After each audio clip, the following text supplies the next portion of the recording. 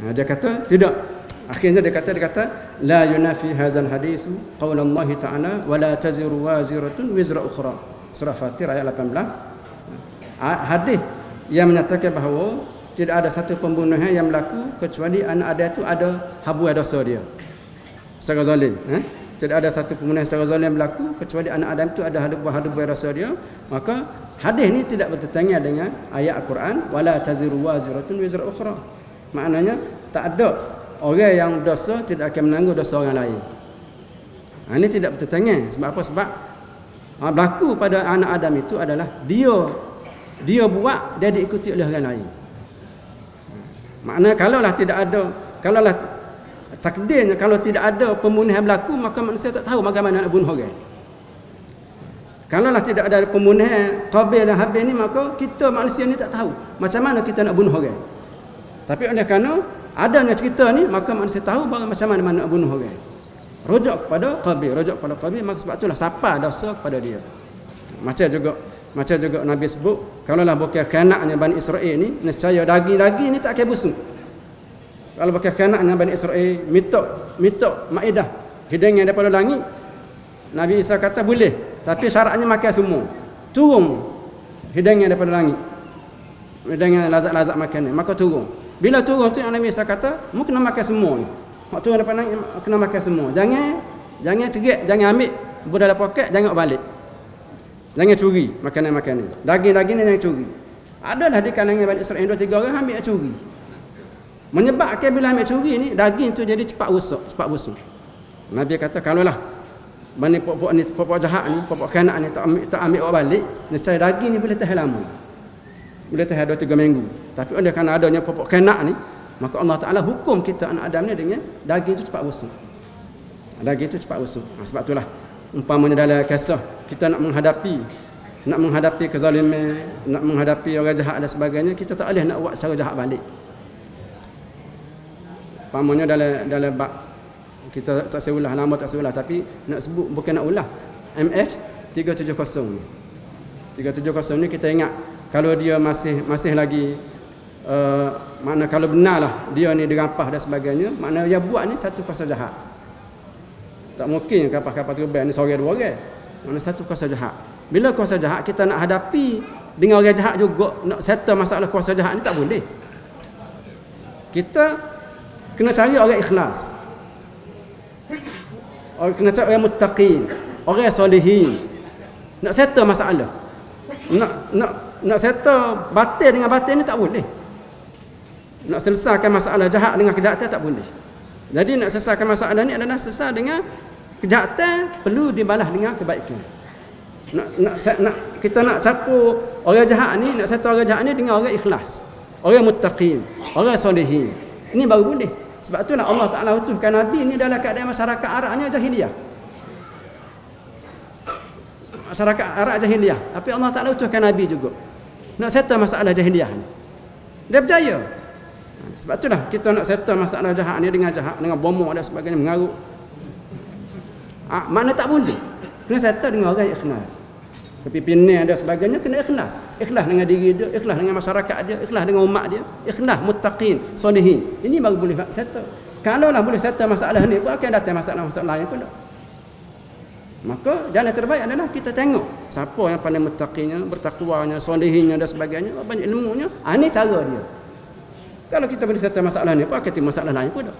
Sebab sebab jahat ni tak boleh kita nak tak boleh nak settle dengan orang jahat juga. Tak boleh.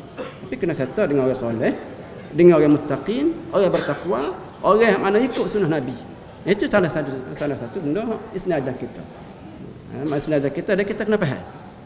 Maknanya benda yang berlaku depan kita ni kita kena fikir sebaliknya. Tak boleh fikir sebagaimana dia didah kepada kita begini begini begini. Ha, ini tak boleh. Kita kena fikir sebaliknya.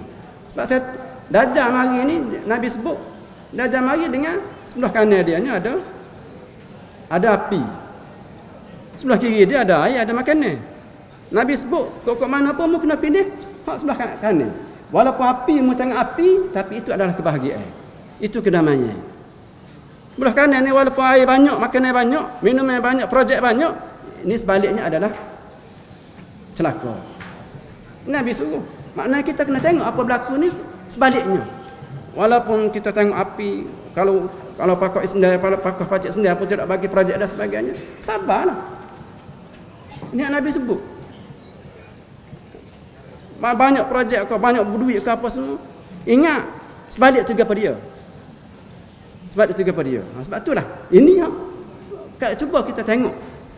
Hadis-hadis sunnah hadis-hadis fitan hadis-hadis malhamah dan sebagainya. Betul-betul. Nabi bagi tahu kita bagaimana kita nak menghadapi situasi akhir zaman. Situasi akhir zaman. Ini supaya kita tidak tidak tidak kita terima tu benar dedah kepada kita satu kata. Dah. Tapi mana kita kena tengok sebaliknya. Kalau kalau dah pada kita bigat kita kata eh cuba buat lagu tu. Sebab itu hak Nabi suruh kalau atas api sekalipun tak tangan kanan dia api ni api itu mati-matilah kerana sebalik itu adalah kebahagiaan, kedamaian, ketenteraman. Tapi banyak macam mana pun makan banyak makan macam mana pun minum ini sebalik ini adalah kecelakaan. Ini Nabi sebut. Cuba kita baca hadis-hadis yang berkata akhir zaman. Ini betul-betul mengabarkan pada kita apa yang berlaku sebenarnya. Ha, ini maknanya satu cerita Allah Ta'ala sebut dalam Quran mengesahkan mengenai kedua ataupun mengesahkan mengenai peristiwa pertama yang berlaku pada anak Adam. Dan juga peristiwa pertama berlaku pada kita manusia. Zuriat keturunan manusia ni kalau kita jaju silsilah apa semua ini adalah keturunan kita manusia. Anak Nabi Adam, Qabil dan juga Habil apa semua ni maknanya baik dengan buruk, baik dengan jahat ni memang ada dapat awal boleh Allah Ta'ala nak, nak, nak ciptakan manusia ni baik semua boleh.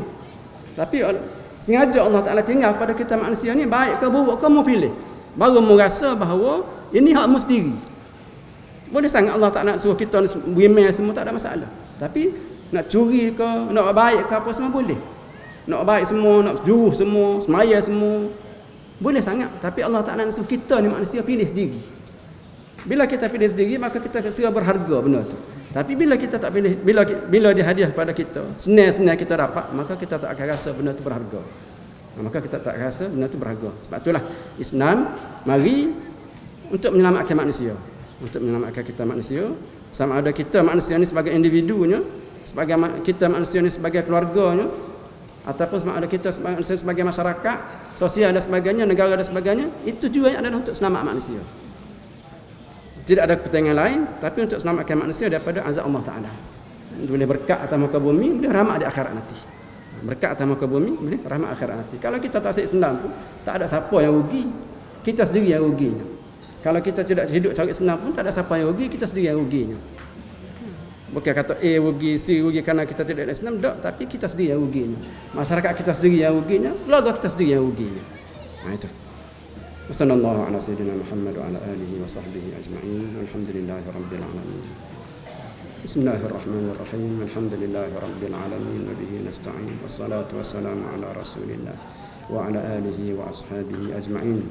اللهم اجعل جمعنا هذا جمعا مرحوما وتفرقنا من بعده تفرقا معصوما. ولا تجعل فينا ولا حوالينا ولا معنا شقيا ولا محروما. اللهم ربنا زدنا علما وارزقنا فهما يا أرحم الراحمين.